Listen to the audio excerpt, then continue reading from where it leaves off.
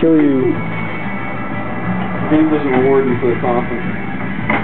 Oh, really? Oh! You did that before, you're just not with the coffin.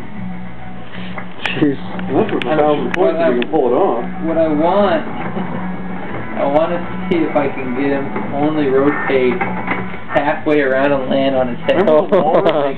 Remember the walrus, how big a jump that was? Yeah. That might be easier to do. Could be. Because this isn't quite that kind of a distance. Oh, The pink, the pink gets you. That, that red star pink. Ah, that was that fun. The waterfall might be the way to handle. Is the waterfall unlockable here? No unlock necessary. It's the whole world open to us, Oh, okay. so we can get to it. Alright, so we're not. Another better chance with that. I oh, Are there any higher jumps than the waterfall? Um, Or the oh, walrus? yeah, There's the stuff, walrus, I guess it's called. there's stuff higher than this.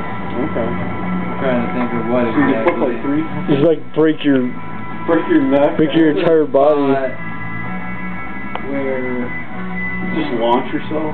Yeah. There, unfortunately, one of the biggest areas is totally unlockable. Wow.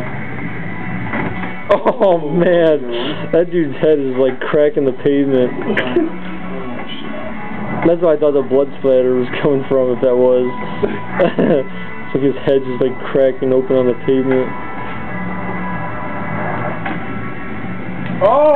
Oh crap! You just need to let him land like that in front of a car.